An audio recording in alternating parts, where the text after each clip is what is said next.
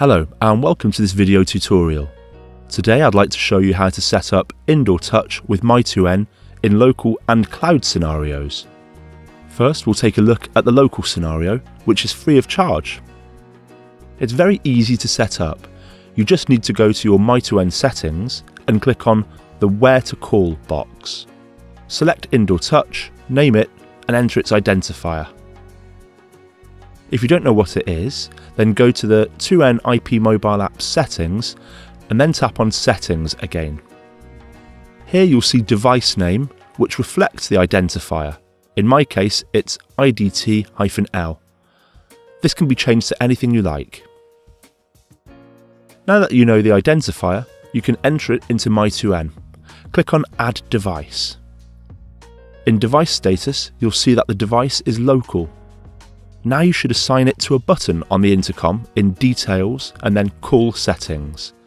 Once you go back to My2N settings, you should see the intercom's status change to registered if it wasn't already. Let's see if it works. Press the button you assigned the indoor touch to and it should start ringing.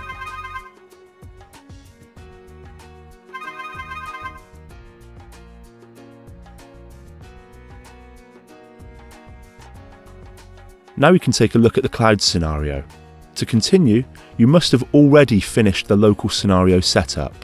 Then, if you go to Indoor Touch Details, you can switch connection mode to Cloud. This will give you access to device ID and device password at the bottom of the page. Find the My2N settings in the Indoor Touch and turn on My2N Mobile Video. Then select My2N mobile video settings and enter the device ID and password.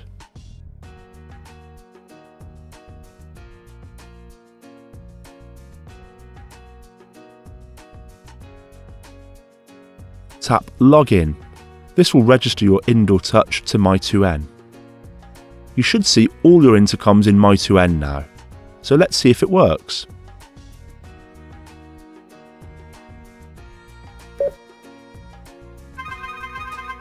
As you can see, it's really easy to set up. Thanks for watching and I wish you a pleasant experience with 2N products.